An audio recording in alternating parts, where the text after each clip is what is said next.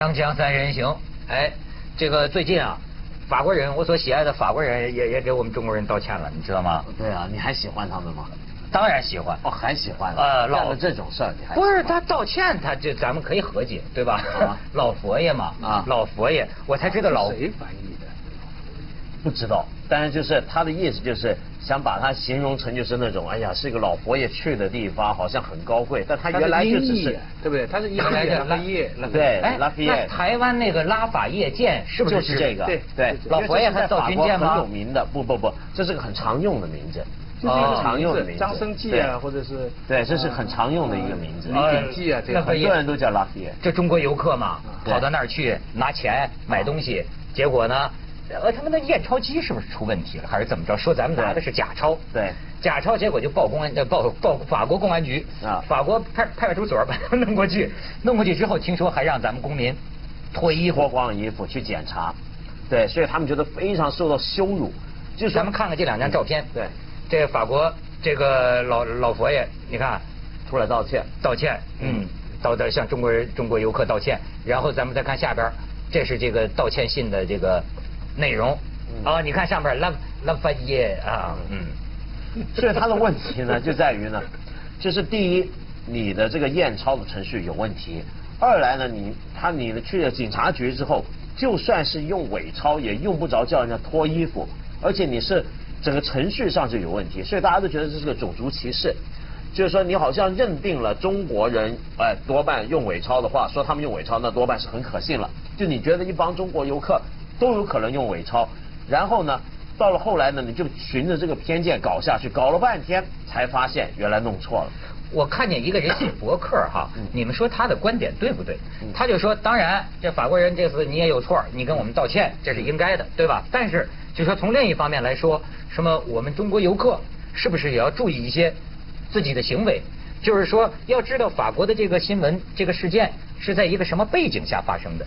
第一是法国现在对这个移民呢，采取这个比较紧的政策，嗯，呃，大批移民就涌入法国。再有一个呢，就是说大批的中国游客，咱现在不是中国人称霸全世界嘛，就去，然后就是说好多人买那个 LV 包，中国人女的，就排队啊，就是在那个卖 LV 包的那个门口，或者中国女排队，香港也是啊，有的中国人跨好几个。LV 包还去啊看看，挎着刚买了 LV 包，限量，就就就去看限量。凭凭你一本护照呢，好像只能买几个。有些人就拿好几个人的护照，就就买好几个。然后他说，这看在法国人眼里，法国人极少这么消费，所以他会对你这个中国游客啊，有一种什么，是不是暴发户，还是一种什么呃不大好的不大好的印象？但是我想，可我觉得就是你说。那个管着吗？有钱，我把你我把你的店买下来，你又怎么着呢？不，这是两回事。我觉得这件两件事要要区分开来讲。你讲的就出去的这个文化形象或者风俗这这个方面是问题，我们可以一会儿再讲。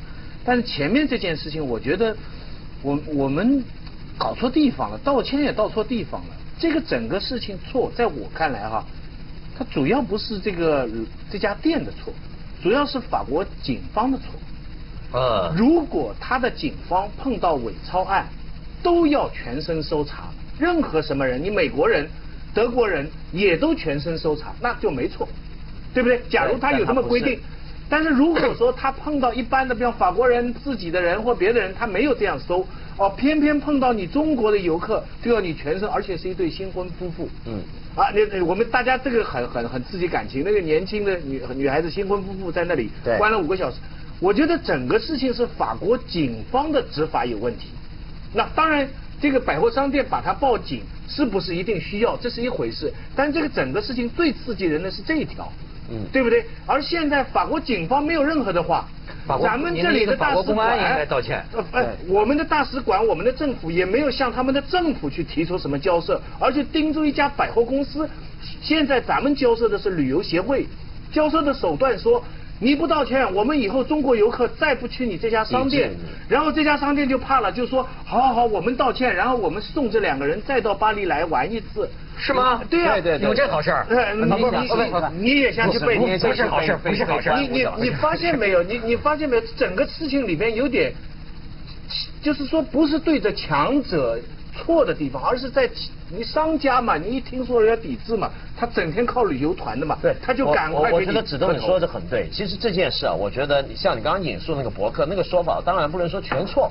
可是问题是呢，我觉得有时候啊，遇到这种事之后，我们现在中国人就是要不就是这个民族情绪很强烈，那么批判法官，要不然呢就是就批评国民性啊批评国民性哎哎我觉得都过头了。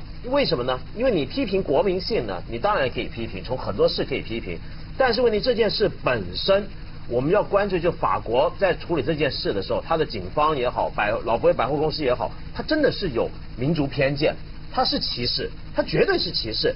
而这种歧视，不论是任何国家，歧视任哪一个国家人，都是要谴责的，都是要批判的，对不对？是是是是是，绝对是尤尤其是你警方，你代表政府公权力，这个民众要要反抗你不合理的使用公权力，对啊对不对？对啊，这绝对是歧视。咱自己警察没法反，反正法国警察还怕吗？对不对？法法法是咱们自由嘛。法国公安我们咱们可以可以理理解，法国公安最近也是比较崩溃，他他他咱们很多事儿弄得他们忙活不过来啊法国少女闹事儿了，你们听说了吗？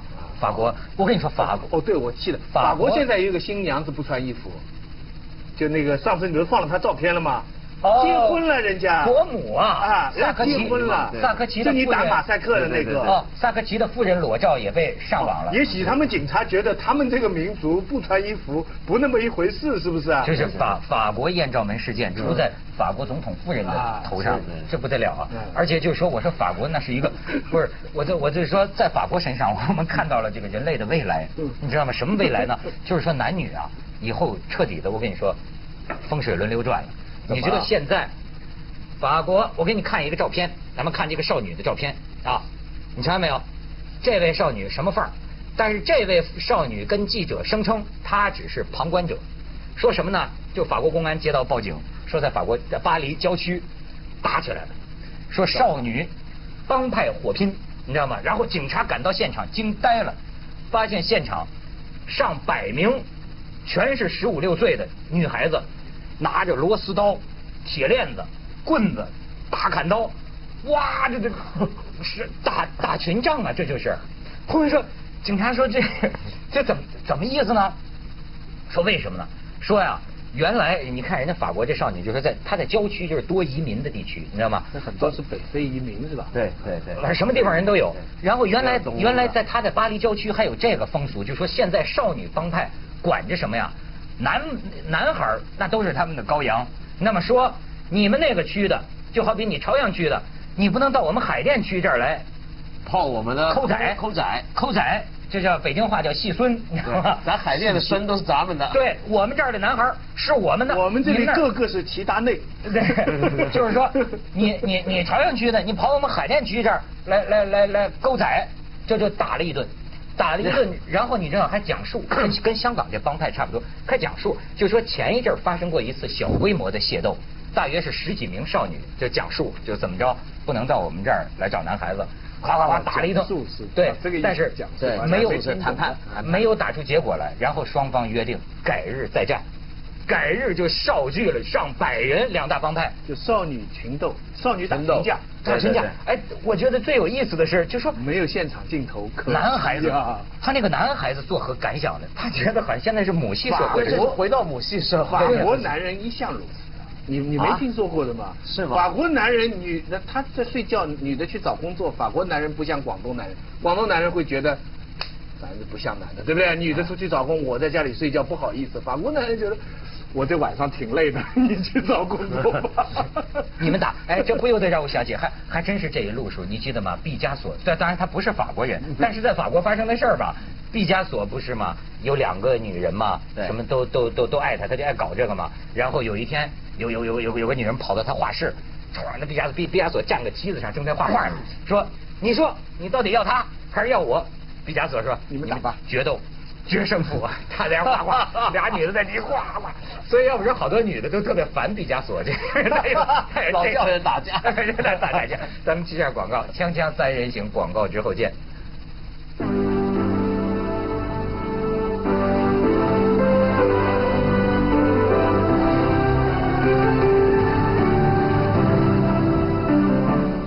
你讲回这些游客，中国游客出去的心理啊，这真是我看这个新闻就很矛盾。就是两面，你这这样想想那样想想，就是不知道该怎么办好。一方面呢，你真的觉得有时候蛮傻的，就是我们现在的游客出去哈，真蛮傻，人家真的在笑你，就像你说的，那很多人排队在买 LV 啊，然后嗯卖嗯嗯，然后有很多大款出去就是说，哎呦，我最贵的酒店一晚上一万块啊，什么，你住到最贵的酒店了，人家还在笑你。你你明白没？你你你很多东西你都不知道嘛，你你你你这个拖鞋啊什么，你的很多事态度啊，就你你就没到这么一个生活氛围里边，你这个跑进去，我我跟你讲，我就亲身碰到有朋友出来了，到香港，他说下午啊四点多钟啊，呃，我们说我们去喝点咖啡啊什么，他说哪家贵啊？那我说半岛贵啊，就跑到半岛去饮茶了。他一坐下来就说鲍鱼鲍鱼，我要鲍鱼。啊，真的啊。四点多真的啊，就是说半岛下午茶哪有鲍鱼啊？这他不知道嘛，他就觉得他要用最贵的东西，就这种心情呢。你有时候你看到，尤其是自己同胞，你就会，我们就会有一种心，因为我一样嘛，咱们都是一样，嗯所以人家带一个有色眼光来看一下。但是反过来呢，另一个角度来讲，你有时候真的很气，你真的会看到，就像你刚才讲，你看到会有受到歧视。我有一次在菲律宾机场转飞机，菲律宾警察就把你当犯人一样。对啊是吗哎就是因为你是你是中国护照，他他他把你啊护照收掉，就是你在那里候机的时候，他把你说，他好像怕你怕你跑小的，怕你跑到上厕所，他都得这么跟着。这是很侮辱的，但是你知道，在外面碰到这种事情，这是一个方法。你说实在话，我们得承认一个现实。所有的朋友说，你拿尤其是 PRC 的 passport，你会受气的。但是受气你不能诉诸感情，你不能说你歧视我了，然后我就跟你动，他不来跟你讲感情的，你只能抓住个例，就是说你能抓住一个实证是他在对你不公平的，那就是你凶。你可以告他，你可以跟他反抗，但是你要是仅从感情上来讲，我一看就知道你歧视我了。他说我没有，他肯定态度很和和蔼的，把你气得要命。对就是说就是说维权呗，就是说你得你你维护个人权益，你得知道人家的这个游戏规则。他外国人不认情，不讲不讲常规，不讲常理，他就是讲规则。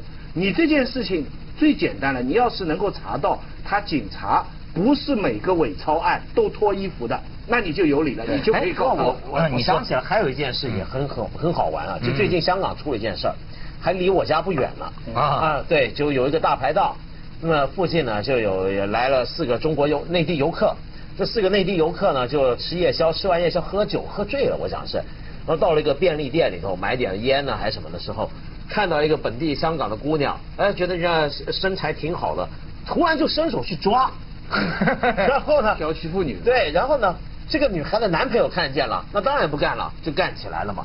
那后来警察就来了，很快就。警察来了，把他们抓到警车的这四个游客还挣扎，然后这四个游客呢，那记者也来了嘛，都拍到。这四个游客说了一堆莫名其妙的话，说什么话？就问这些香港警察啊，你们干什么？这样子抓我们，怎么这样都不行吗？你们还算是中国人吗？真的真的真的，我大伙就傻了，什么意思呢？因为本来呢，我们香港人给人问这句话就问习惯了，香港人老给人问这种，你还是还是中国人吗？但你在这个环境下，你的意思是说，我们香港女孩胸不让你随便抓？这还能算是中国人吗？这是什么意思呢？我就不懂了，真是。不对这就叫什么呢？正义汹汹，你哎知道吗？对对对好好多人呢，因为我们的语言说实在的太太单调。对当我们表达义愤的时候，我们这个什么义愤呢？你你你你你你是啊人不是你还义愤不是抓不是抓他他当然这件事情他可能做错了，但是内地来的游客到香港到澳门，心里有一种外表表现出来的愤怒跟不满，其实心里是。自卑，你知道这因为钱啊各方面，他他隐隐的感觉到你们在你们在歧视他歧视我嗯他比方说有有个朋友就这样说过，他说我到店里去，我会一些广东话的，我跟他一说广东话，那个店员就用那种不不太标准的普通话来回他，他反而人家其实可能是好意啊，可是他反而觉得人家在侮辱，就是说。你怎么好像意思说我不会讲这个话？你你讲的那个话，呃呃你你你们看啊，这个东西都好，就听上去他好像在骗他。其实这是一种心理作用，这是一种自卑的心理。其实这种自傲跟自卑是混合的。对是一所以在发生在香港，这个心理就更加更加复杂。你知道？而且就有的就像你们从外国回来的，我我觉得是不是我们这一的这个时代，包括比我再大一代的人啊，我们有一种上纲上线的教育，你知道香港人不会的，对吗？我们的那个思维方式啊，对对是上纲上线，对你看不起我们啊我在不是我在那个罗湖海关呃就碰见过是吧？就好像我感觉这个这个女士啊，她是一个从美国回到中国的这么一个中国人啊，然后大概是因为手续问题啊，这海关把它截住，在处理一些事情。你就像你说的个案，它就是这个嘛，对吧？但是我听这个女的一直都在，我听着一直都在讲这个什么国家政策，你知道吗？她讲。我就说，中国到现在还这么不民主、不自由、没有人权，啊，为什么这这样？这然后这这，你知道吗？他上他说的这个这这些个，我为为什么我说叫正义汹汹啊？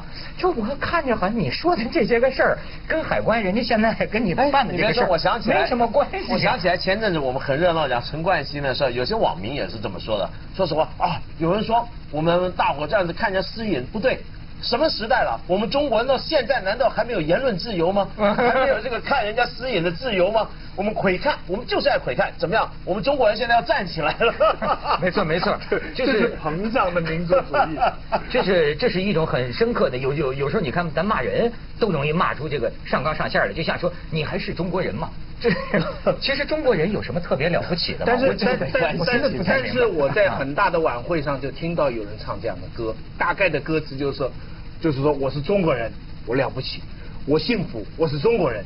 我我今我听了这个歌，其实严格说来这政治不正确。那人家。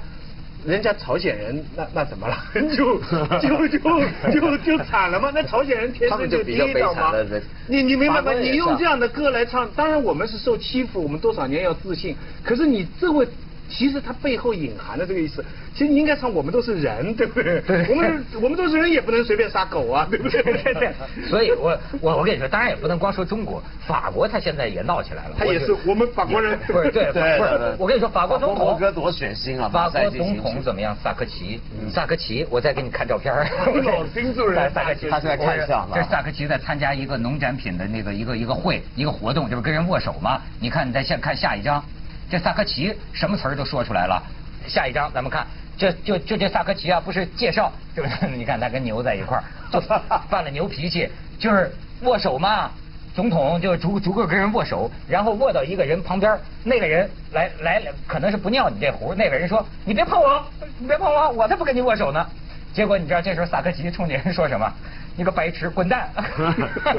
骂骂起来了，开始吵架，他还说了很多脏话。啊，对，俩人还在记者记者面前说脏话，就跟那人干起来了。哎呦哈，好吧，滚蛋吧！对，什么什么我操啊，什么什么什么这些话都出来了，都出来了，都出来了。asshole，那等于是英文的，这都都出来了。但这个东西啊，呃呃呃，后来闹大了之后啊，大家就讨厌萨科齐。现在法萨科齐在法国名望很低，啊你知道为什么？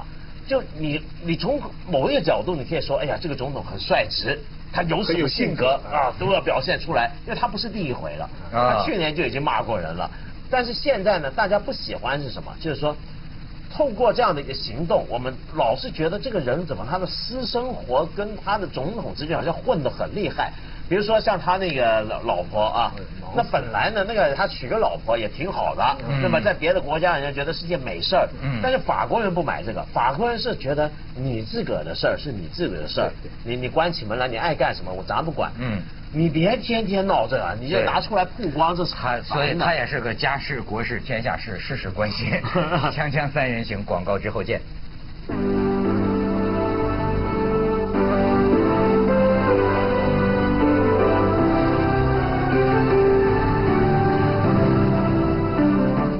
光萨科齐啊，还有北师大教授呢。这联想都是快。这这就我发现现在进全世界可能进入一个粗口骂人的一个时代了。北北师大一教授写了个什么学术著作，然后呢另一个学者吧，就反正把他这个学术著作说的个一一无是处吧。但是这人就在博客上说，我要叫是做回畜生。是吧？太生气了，就侮辱我的学术尊严，然后就骂他。你说萨科齐骂那 S 后，他就骂那个他的那个批评者，就叫你是个 S 后教授，就这么骂呀。而且这人家记者采访他说，这不是学术争论吗？为什么要这样骂人呢？然后这位教授说，我只能用谩骂来治疗心痛。我心痛啊！你批评我。这在这在某种程度上又是跟博客有关。所以现在博客这个东西啦，就是网这个东西啦，我们的好处都享受了，可是它对我们的既有的社会秩序的挑战，一步步都显示出来。因为本来这种啊，要么你私下骂。要么你写文章，你写文章编辑就会教你修改，没有一个杂志会发表你什么你说人家阿紫这个屁眼的这这种这种这种文章。可是现在他发在博客里，博客好像他的日记，你们是在看他的日记，我在日记里发火还不可以吗？但是这个明明又是公开的，又是社会的公众的领域。这就我我所以公司的界限本来人类几百年建立了一套公司的秩序啊，现在现在就是面临着巨大的挑战。可是可是也有另一个问题，就现在我觉得这些学者呢。本来你学术讨论呢，大家会觉得有行规。嗯。当然你可以说这是我的博客，我个人日记，我爱怎么骂就怎么骂。本来这个也是，但但是还是不对的，因为这是有行规的。我觉得今天就是大家很多我们很多行啊都没规矩了。就比如说像讨论，其实不止学术讨论，我觉得任何的理性讨论，平常我们讨论呢都是有规矩的。但是这种网络出现，就因为网络你平常我们一骂人也不用负责任嘛，就上纲上线。我们你刚刚说那种上纲上线。啊，什么个人动机的文革式的猜测跟阅读，然后用粗话骂人，人格侮辱，人格毁。